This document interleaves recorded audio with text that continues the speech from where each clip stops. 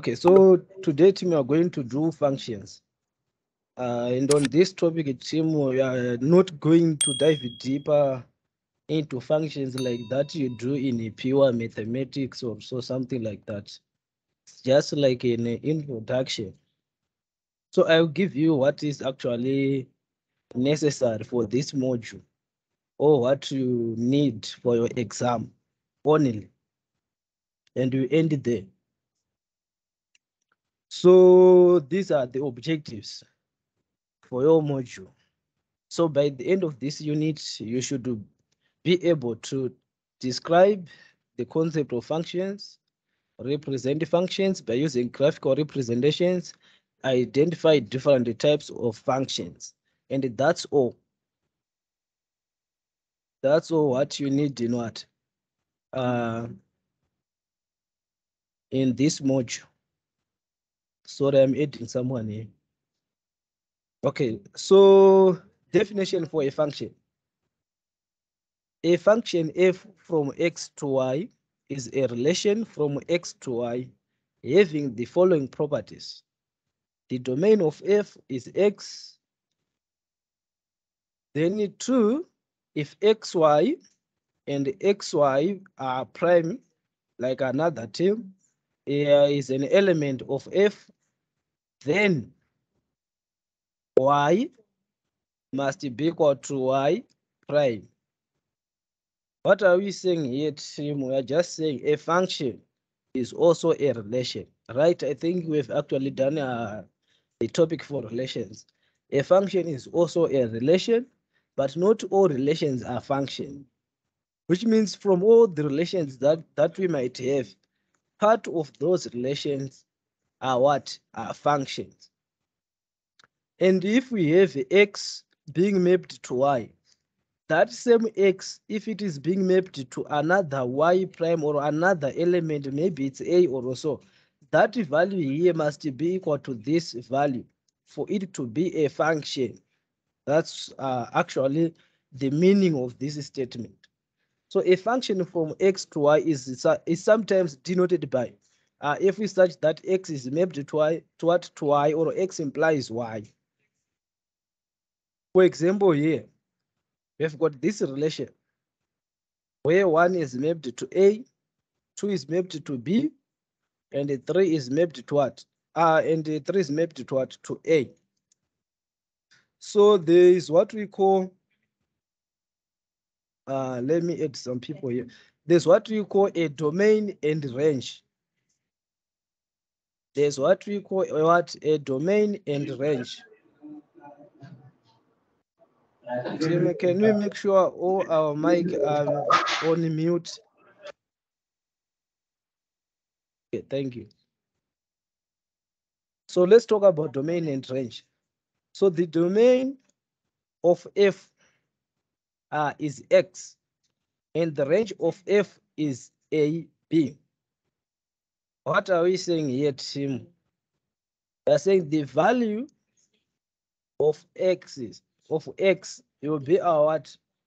Uh, will be our domain, and then the values of y will be our range. So the range of a relation R is the set y is an element of y, where xy is an element of R for some x is an element of x. So this statement is just saying all the values or all the elements of y uh, will be our will be our range for every xy that we have. So if you take the value of x, it will give us the value of what? Of y.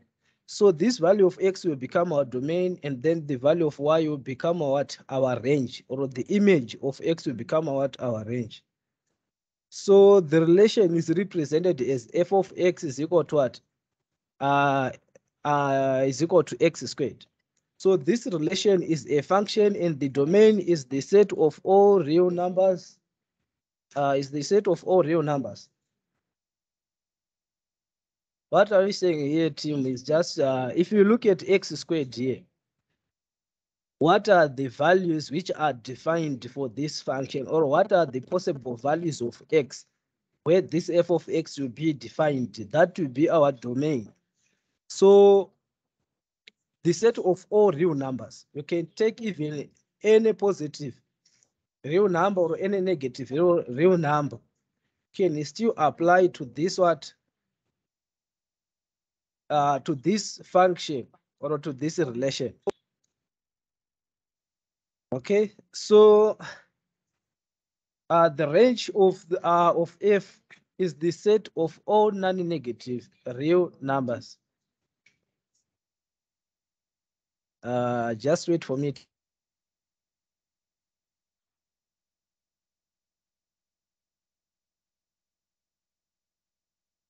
So the range of f is the set of all non-negative real numbers. Like here. If you put any negative number here for x squared, the result of f of x will be always positive. Because any negative number, if you square any negative number, you get a what? A positive number. Therefore, the range, which will be the values of f of x or, or the values of y, will be what will be the set of all non-negative real numbers. So that's all about the domain and the range. So if f is a function where x is mapped to y, given a value in set x, we can obtain the value in a set y. So this process is called function application. Whenever you put the value of x into a function and then you get the value of, of y, that process, that's the function application. Okay? I'm trying to add someone here.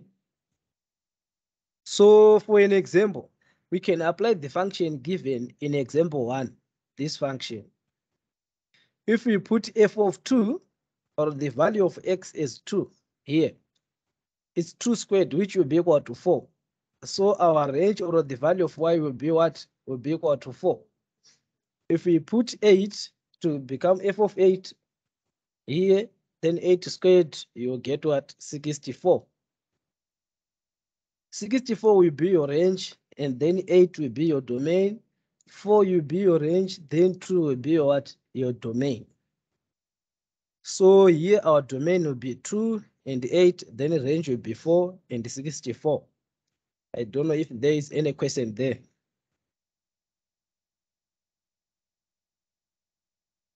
Okay, I think I can continue. Then we have another example here. This example. saka chiita it- itai ERP itai ERP Hello. Can you make sure that our mic are on mute? Also, can you switch off our camera?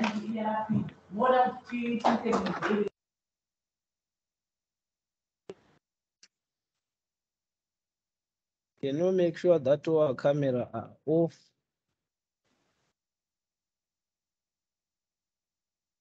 Don't know, Pauline. For others who are using data, can you make sure that your camera is off? I don't know if you are listening.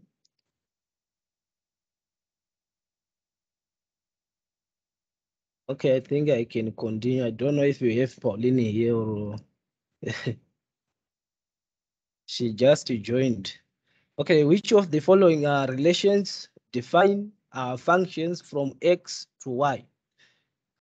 I think uh, at the beginning of this uh, presentation, I told you that a function is also um, a relation, but not all relations are functions.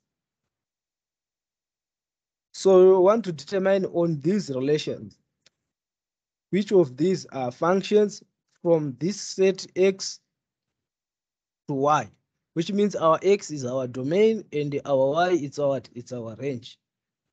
So we can start with this one, R1. We have got this two is mapped to four and four, this four here is mapped to this one, which is fine.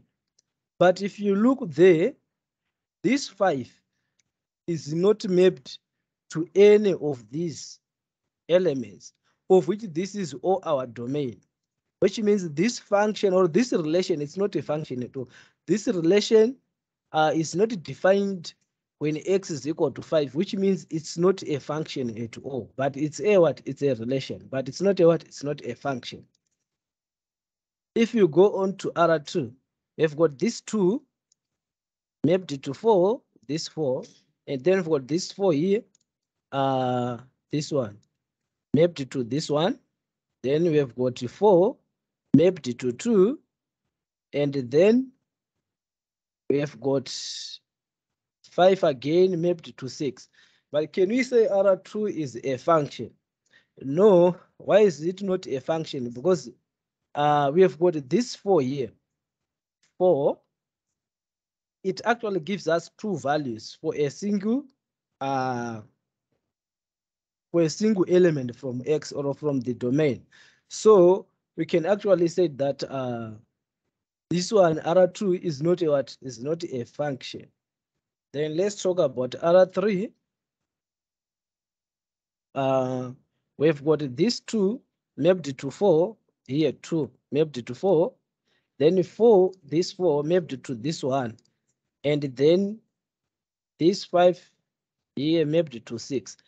Then we can say R3 is a function. Why? Because for all the values in our domain here, they are all defined for this function, or they can give us an image or a value in our in our range. So R3 defines a function because it uh, it satisfies both the conditions of the function that uh, is every element of x is the first element of some order pair and there is no pair which is the same first order pair but different second order pair. So there is what we call graph of a function. How do we draw graph of a function? I think uh, we have actually done this even at form 4 level, but uh, let's talk about it. So let f be a real valued uh, function of a variable, a real valued function, which means it actually takes real values as its domain and range. No complex number here. So uh, that is R is mapped to R. The graph of f is the set of all points x, y in the Cartesian coordinate plane with the property that x is in the domain of f and y is equal to f of what? F of x. So we have to draw uh, we have to draw the graph of the function f given by the relation y is equal to x squared. So we want to draw this graph of y is equals to uh, x squared. So for you to draw this uh, graph what you need is actually uh, the domain the values in the domain and the values in the range. So you just take a certain number of values, then you create a what? A table where you have the value of x and the values of what? Of y. And then from there you plot those numbers or those values on your Cartesian uh, plane. Then you join uh, those those values or those coordinates, join those coordinates uh, using a smooth what smooth line. So, for example, here, if we put a negative 3 in our function, what do we get for the value of y? So here, if you put negative 3, uh, then it will become three, uh, negative 3 squared, which is equal to 9. The same for negative 2, you get 4. For negative 1, you get 1. And then for a 0, you get a zero. Then for positive one, you get a one, and then for positive two, you get a four. Uh, positive three, three squared, you get a nine. Then you plot these values, minus three and nine. So actually here, you don't need to draw it uh, up to scale. So you can just uh, put your values here. So here it's what? Minus three and what? And nine. Then you plot here you go minus 4, uh, minus 2 and 4, minus 2 and 4 here, minus 1 and 1. Then you join them. You join those uh, lines. You, you join those coordinates. So that line will be what will be your graph of the function. Uh, y is equal to x squared. So this is how you draw a graph of a function. I don't know if there is any question here before I move forward.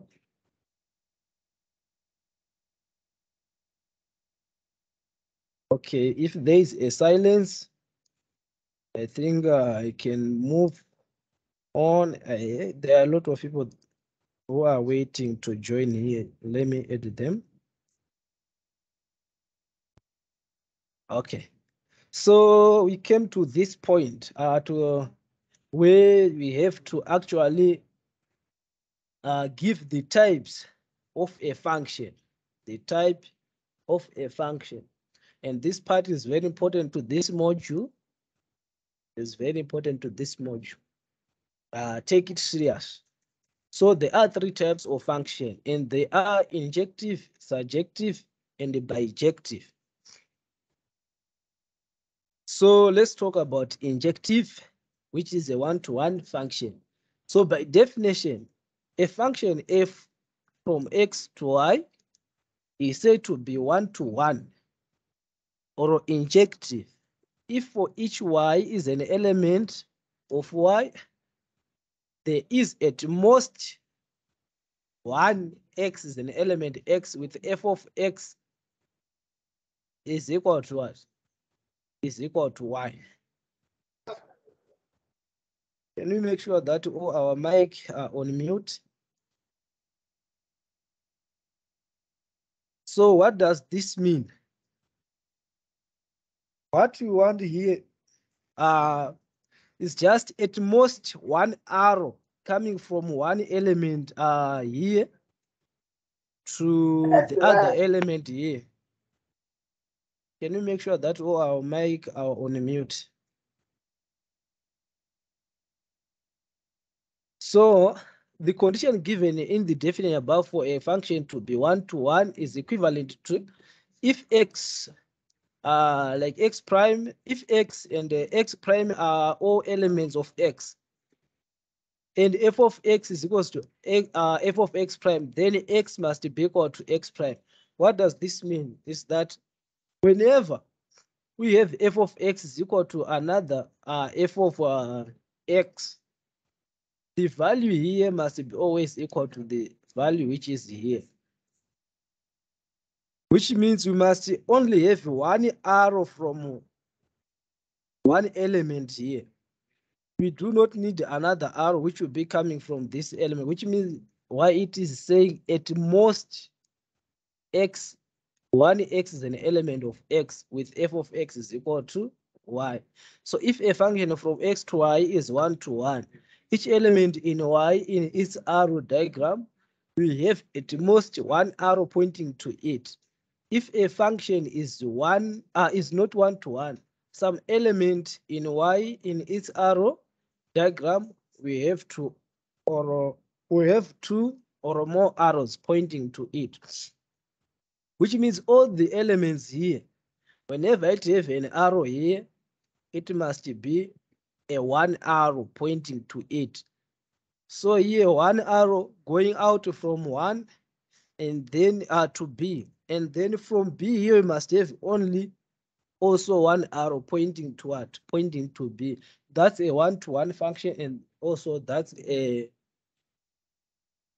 an injective function. So for example, the function f if uh, f uh, where we have got 1b, uh, 3a, and 2c from x1, 2, 3 to y, a, b, c, d is 1 to 1. Why? Because from the this side, we only have at most one arrow.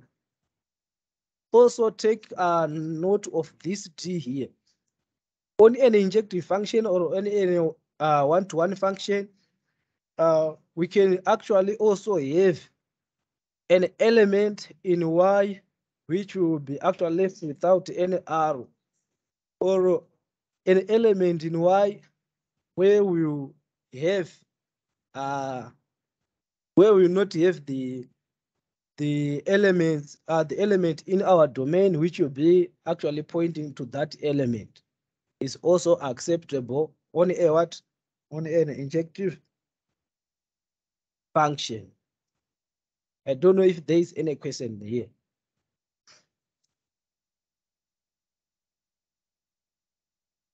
Okay, let's move to the graph of one-to-one function or injective function. So on the graph of a one-to-one function, uh, a graph of a function f is one to one if and only if uh, every horizontal line intersects the graph in at most one point, which means if we draw any horizontal line,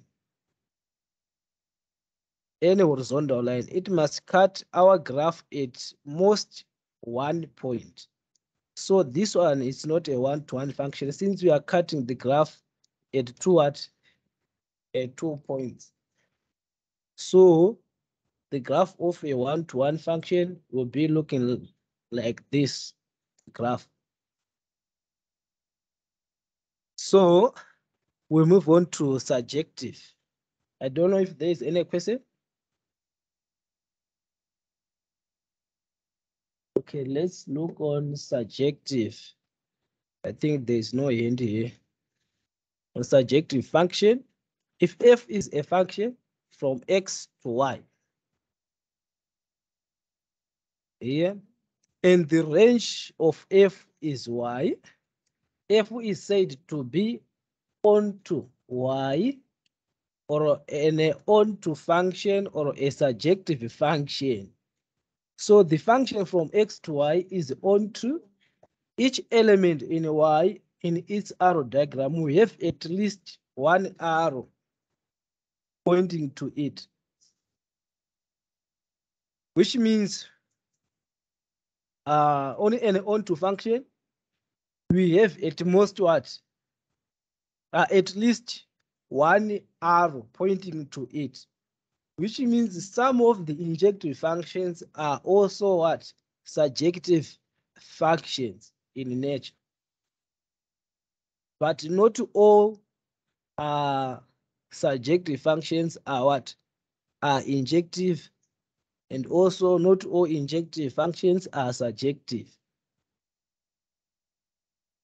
you will see uh, as we move uh, forward so the function f uh, here we've got one mapped to A, two mapped to C, three mapped to B, from X, where our domain is one, two, three, to Y, which is our range A, B, C, is one to one and on to function. Why is it a one to one or why is it an injective function as well as surjective function here? So let's see on our arrow diagram. If you look on this arrow diagram, for all the elements in Y, we have at most one arrow, right? Here we have at most one arrow, which is also uh, the condition for a one-to-one -one function. And also you have got at least one R, which means you have got more than uh, it, uh, greater than or equal to one. That's at least one R. That's why we are saying this one is also a what? It's uh, a surjective uh, function. It's a surjective function. But if you were going to have uh, something here unmapped, uh, like a D here, maybe we are going to have a D here, down here, with nothing pointing to it, which means it was not going to be a what a surjective function because a surjective function must always have at least one arrow pointing to it here on our range. So that's why this one is a what is a surjective as well as injective. I don't know if there is any question here. So let's talk about the graph of an onto. Can we make sure that all our mic are on mute? Vera, I think it's Vera. Also, can we make sure that we switch off all our camera so that uh, we can let those who are using data uh, join smoothly. So let's talk about the graph of an onto function or a surjective function. So you need to know these terms. Onto or the other way around, which is surjective. You need to know all these terms because they are used interchangeably. So a graph of a function f is onto if and only if every horizontal line intersects the graph in at least one point. So now it's at least one point. If I draw my line here, at least what? One point. If I draw my line here, here it's like it's an at least one point, but it's not an onto function. Why? For y is equals to modulus of what? Was here for the same value uh, of what? Of y, we've got different values of x, which means it's actually violating the rule for what? For functions. Uh, the one that we stated when we, when I actually introduced what? Functions. So this is why this one is not the graph of what? Of a surjective function. But for this one, since if I draw any line here it the I actually cross this graph at least one point. So let's talk about uh, bijective functions. I don't know if there is any question. Let's talk about bijective functions or a one-to-one correspondence. So you need to know this term as well. So a bijective function is something which is uh, surjective as well as injective. So a function that is both one-to-one and uh, onto is called say, I think a bijective function. Is there any question? yes, from Jermaine. It's okay, you can ask. Wese apa ndakanyatsodzidzisa pana pama graph apo kuti zvangofanana ne subjective ne injective I think I've actually stated earlier that uh, injective function, there are uh, surjective function which are also injective function. There are also, it's like if you take an injective function, sometimes it can it can be also a what?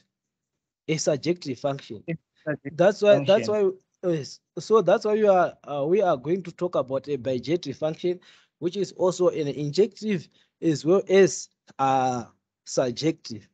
So it's not easy to actually say this one is uh is an injective function, this one is an surjective function using the graph without actually using the arrow diagram or any other means.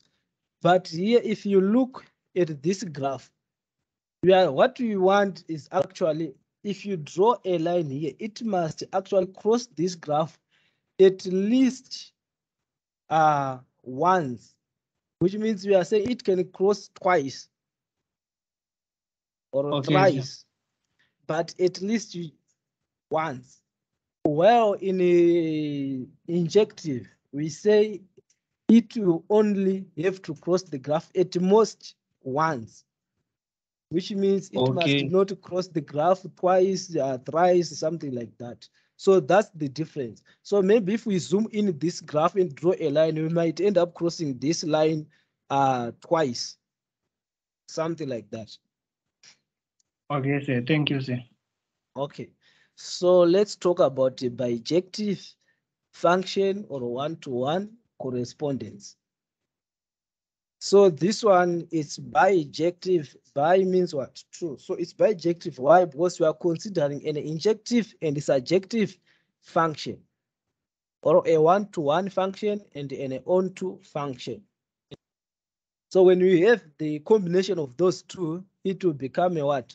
A bijective function. So whenever you ask it, uh, if it is a bijective function, you need to check if it is uh, injective as well as surjective function. So a function f where x is mapped to y, defined by the arrow diagram is both one to one and on to, hence it's a bijective. Why are we saying it's a, a one to one? Because here this A is mapped to three, B mapped to two, C mapped to one. So for all the elements here are mapped to G to single value here. There are no more than two arrows pointing to either one or two or three, which means it's a one-to-one function. Also, it is a, um, it is a surjective function. Why? With at least all these elements have got at least uh, one arrow pointing the uh, pointing to them.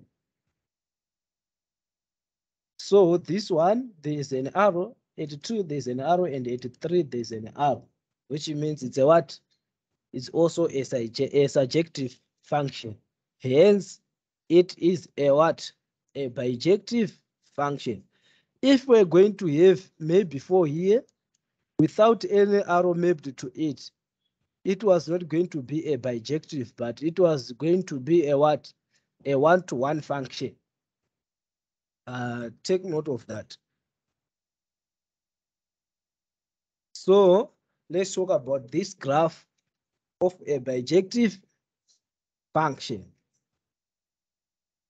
If we look at this, uh, this graph here, if you draw a line here and here and here, you can actually cross this graph at once. Which means this graph somewhere, somewhere is a one-to-one function as well it's a what? It's a surjective function. Since surjective function requires you to cross this graph at least once, which means we are also crossing it at least once, which means it's a what? It's a bijective function. If you check at this one, if we draw a line here, you'll be also crossing this graph at once, which means it's also a bijective function because it's at most once as well as at least once. So we'll be moving on to the inverse of a function.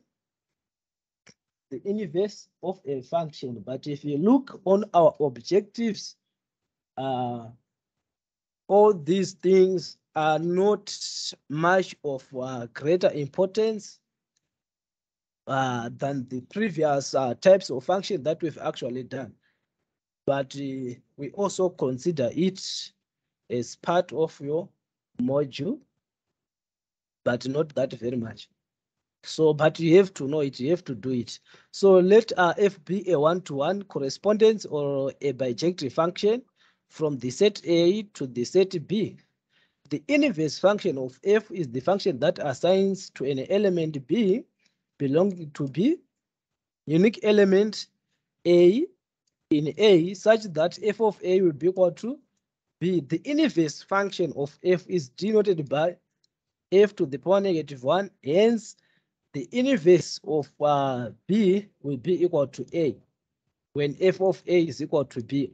What do we mean by the inverse of a function? Is that all the elements here, which were the range, will become our domain here, will become our domain. For example, here we're having f of a or the value of a being mapped as to what? To b. For an inverse, this value of b will be actually mapping us to what? To a, which means this one will be our domain, and this one will become our range if it is a what? An inverse. So that's all about an inverse function there. For example, here, uh, there's this issue where we can have uh, an inverse of a function sometimes might not be a what? A function. For example, uh, we can have this uh, function here. We've got this one mapped to A, this two mapped to A, and this three mapped to C. It's a function here. But if we take the inverse, these values which were our range will become our what? Will become our, um, our domain Yeah. Then we end up having this A mapped us to these two values, one and two, and then C mapped us to what? To three here. So whenever we have this kind of relationship where A gives us two values, it's no longer a what? A function. It's no longer a function. This one uh, gives us what? Give, uh, gives us three. So here is uh, actually this, uh, this is why we have got this statement which says that the inverse of a function may not be a function. But what you are being asked to is just to find an inverse. So you don't need to know if it is a function or not. Just you have to do is just to find out an inverse of that function. So to know whether it is a function or not, it's not that of greater importance. Because you are not going to be asked to say if the inverse of this function is it a function or not. So you have got this injective function, which gives us this inverse. Uh, we have got this one, gives us this A, and this one gives us B, then gives us D. So whenever it becomes an inverse, which means this one will become our, our domain, and this one will become our range. So we end up having something like this. So A is mapped to one, B is mapped to two, C is mapped to nothing, D is mapped to three. So whenever we have uh, our uh, any element in our domain, uh, which is not, not mapped to any element in our range, then that one will not uh, that one will be not a function. Why? Because there are some values in our domain which will be not defined. So that fun uh, that uh, thing will be not a what, or that relation will be not a function. So end up uh, having, uh, let's see this one, it's a surjective function with this inverse. I think we've actually came through this type of relationship where we have a single element mapped to what? Uh, mapped to, to two values. We've got a mapped to two to these two values, which means this one it's not a function either. But this one is a function, but this one is not what? It's not a function. Why? Because A is actually gives us two values. So let's look at this one again, which is a bijective function. So inverse of a surjective function may not be a function. This is why, let's see, what do we have here?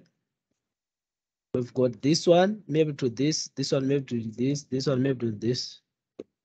A mapped to one, B mapped to three, C mapped to two. This one is a one, this one is a function here. This one is a function. I think this this one, this one is not a function, but this one is a what? It's a function. So there is there is this topic which is also very important, uh, which will be the uh, the functions composition, where you have to add functions to multiply functions, uh, something like that. It's also important. The manipulation of a function, you need to know that. So since functions are special kinds of relations, they can form the composition of two functions. So specifically, suppose that g is a function from x to y, and f is a function from y to z. So the resulting function from x uh, to z is called the composition of f with g, and is denoted by f at g, f dot g. Think have actually came across something like this where we have x, y, and z. So a function from x to z, here from x to z, will be something that will be actually linked through? Through this y. I think if you go to transitive relations or so, that's where we end up having the composition function uh, composition. For example, uh, we have got the function uh, g, where one mapped to A, two mapped to A, three mapped to C, and a function from uh, X uh, is a function from X, G is a function from X, where the domain is one, two, three, and Y is uh, actually A, B, C, which is which is our range. And we've got F, which is a function from Y to Z. Here, Y will be our domain for what? For F, and Z2 is the what is the range for this function F where A is mapped to Y and B is mapped to X and C is mapped to? To Z. So the composition function from x to z can be represented by an arrow diagram as follows. If you take an arrow diagram, s dot g, ah, not s dot g, f dot g or f at g will be 1y, 2y, 3z. Let's see how do we find this. So the application of f at g on x can be written as f uh, dot g of x or alternatively as f of g of x. So this is our x, this is our y, this is our z. If we take uh, this g, this function g, we see that one is mapped to a, and two is mapped to a, and three is mapped to c. And if we take this uh, function f, which was a function from y to z, we see that uh, a here is mapped to y, and then b is mapped to x, and c is mapped to what? To z. So if we want another function from x to z here, it will be something linked by this, uh, by this uh, set, which is y. So you take three uh, to C then to Z, which means we have three what? Three Z. That's why we have this arrow pointing from three to Z. Here we've got two A, Y. This is why we have this arrow, which will be pointing straight to Y from two to Y. Also, we have got one A, Y. This is why we have got this arrow from one to Y. And then this B to X will not stand since we do not have uh, any value here, which is actually pointing to this B. So this is a composition what function of f at what of f at g. Uh, there's binary and unary operators. So a function from x by x or x times x into x is called a binary operator on x. So let x be equal to 1, 2, up to infinity. So if we define f of xy is equals to x plus, uh, x plus y here, then f is a binary operator on x. So a unary operator of, of a set x associates with the, each single element of x, uh, one element in what? In x. So the definition here, we for this definition, a function x into x here is called a unary operator on what? On x. So this will be our what? Our unary operator, and then our binary what? Our binary operator. So let E be a universal set and X is a set.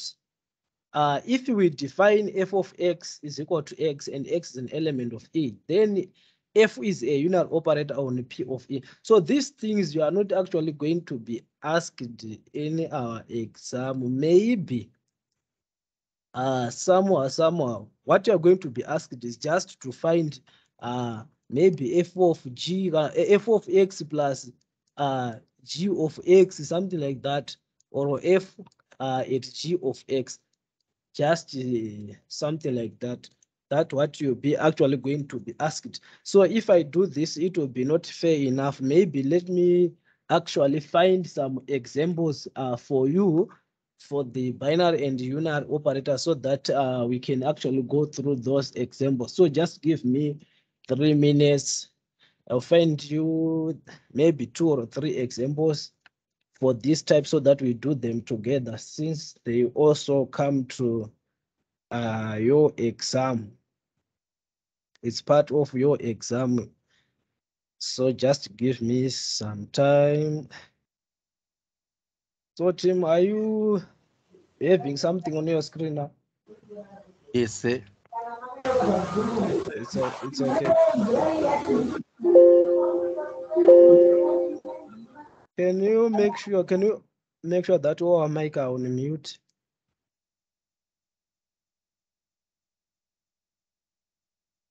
Okay, so let's do this example that we have here.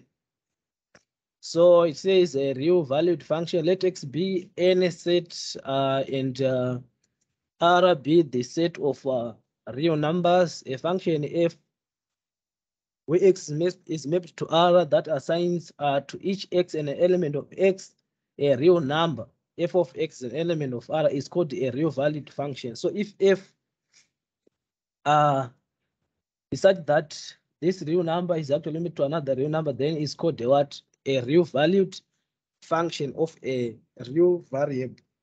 So, for example, uh, if uh, positive real numbers are mapped to, to real now to real number defined by the f of x equals to log uh, of x is a real valid uh, is also a what a real valid function. Also, you have got this one. We've got uh, g r is a mapped to, to r defined by g of x, which is e to the power x, is also a real valid function. This was just a, an explanation of what is a real valued function. But let's do the operations on functions. So the sum of uh, of a function, let f and g be real value, uh, real valued functions with the same domain x. That is f of x. Uh, f is uh, such that x is mapped to r, and g is such that x is mapped also to r. So the sum of f and g denoted by f plus g here denoted by what by f plus g is a real valued function with the same what domain x that is f plus g such that x is mapped to what? To r which is defined by. So if you have uh f plus g having this plus as an operator here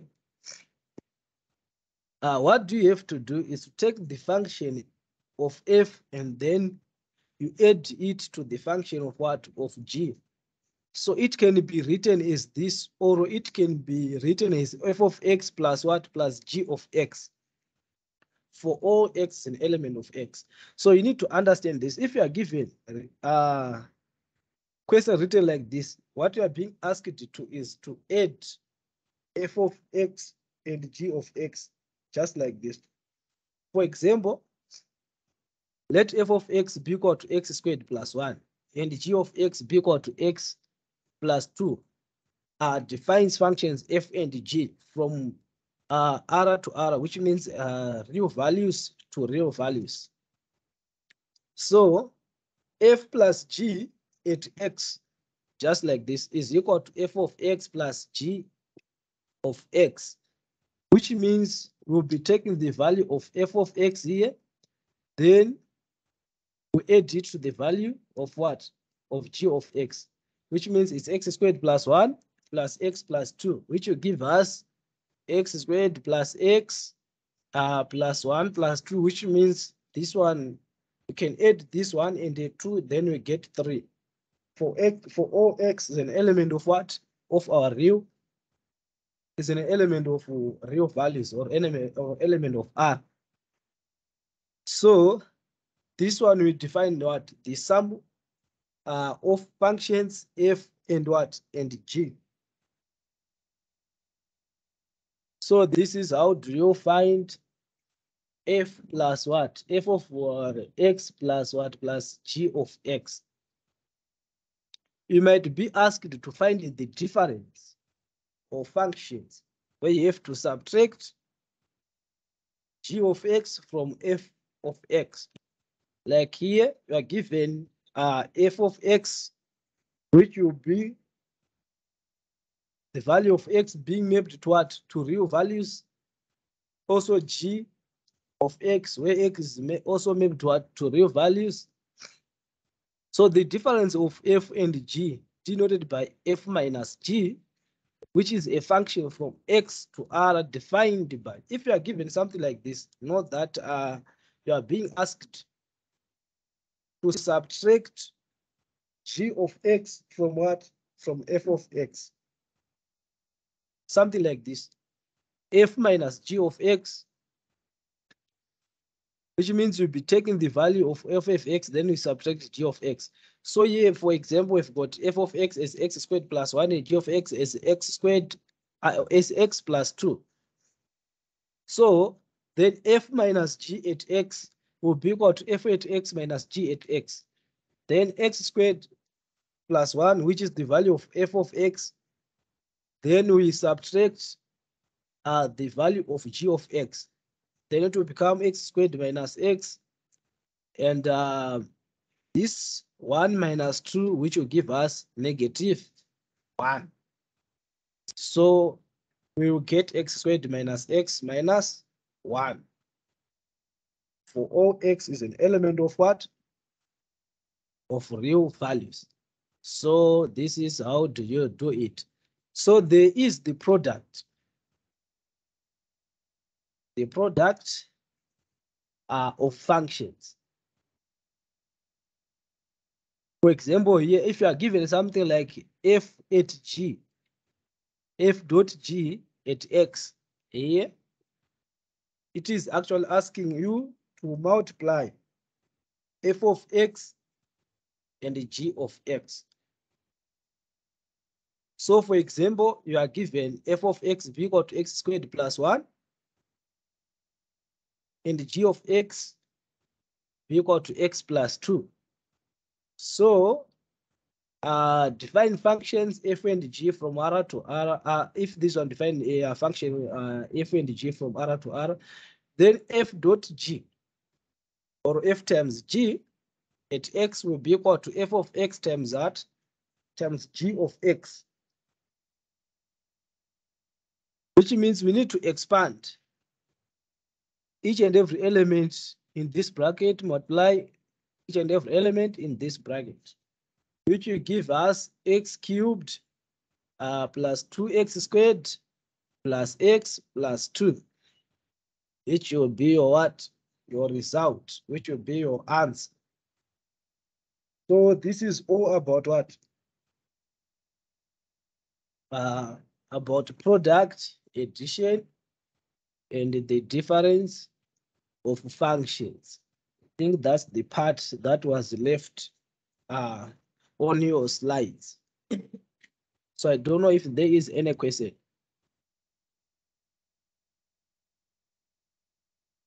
If there are no questions, this is the end of our presentation.